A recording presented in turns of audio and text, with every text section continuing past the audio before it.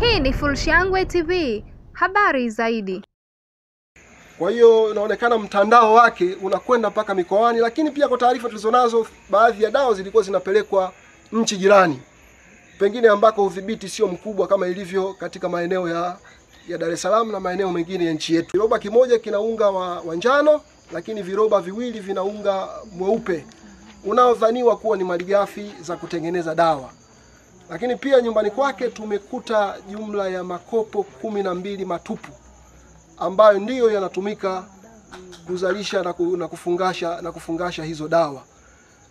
Baada ya kukamilisha upekuzi nyumbani kwa mtuhumiwa usiku wa manane wa tarehe kumi na tano tukaenda nyumbani kwa wazazi wake kwa ajili pia ya kufanya upekuzi.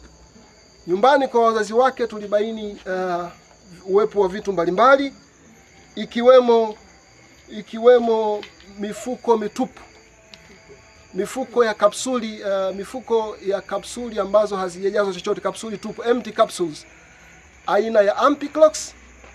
Lakini pia nako tumekuta lebo, jumla ya lebo tumekuta lebo 142 nyumbani kwa wazazi wake, ambayo inafanya jumla ya lebo zilizokamatwa kuwa 679. Kwa hiyo baada ya kumpata mtuhumiwa huyu, sasa ataunganishwa na wale ambao tayari walishakamatwa kwa ajili ya kufikishwa kwenye vyombo vya sheria. E, kama ambavyo wote mnafahamu, dawa bandia huu ni uhalifu dhidi ya ubinadamu, ni unyama na ukatili wa hali ya juu. Mtu anazalisha dawa bandia, dawa ambazo pengine hamna kitu humo ndani. Kwa hiyo kwa taarifa tulizonazo mpaka sasa, huu mtandao ume, ume, ume, umeenea sehemu mbalimbali, hasa maeneo ya mikoani na maeneo ya vijijini.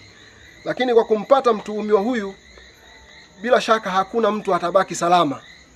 Watuhumiwa wote waliojihusisha kwa namna moja au nyingine, aidha kusaidia kusambaza, kusaidia kuzalisha, kwa namna yoyote hivyo, watapatikana na watafikishwa kwenye vyombo vya sheria.